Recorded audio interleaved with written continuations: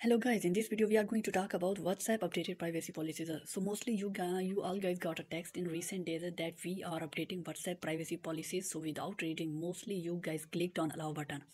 But this clicking will be harmful for you in your future. But if you are thinking we will disallow and reject it, then it is still not good for you. Because if you reject privacy policies, then WhatsApp will not work on your phone uh, from February 9.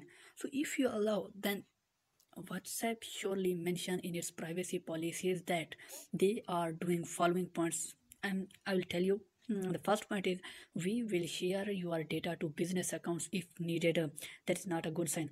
So they are telling that if uh, a business uh, company asks for your personal data they will share your personal data to that business account. And the second one is facebook insta and whatsapp owner is same. So they will get all data from facebook whatsapp and instagram which is also not a good point.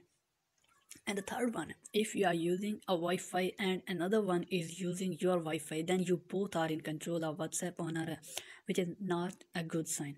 And the fourth point is whatsapp will see your location and also see your internet speed and where you are using it. They they are in complete control on your whatsapp account uh, and the fifth one, if a business company asks your data, they will share it. This is a words decision. They also mentioned in the privacy policies. They just uh, made a complex privacy uh, policy. So more, uh, they ask for, for that.